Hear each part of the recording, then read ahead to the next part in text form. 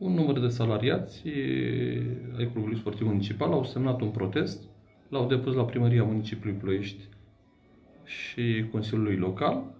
După cum se știe, Consiliul Local, prin domnul președinte al uh, Consiliului Local, uh, mi-a cerut un uh, punct de vedere scris. La ora actuală analizez, am chemat părțile implicate să văd ce spre vorba și voi prezenta situația reală.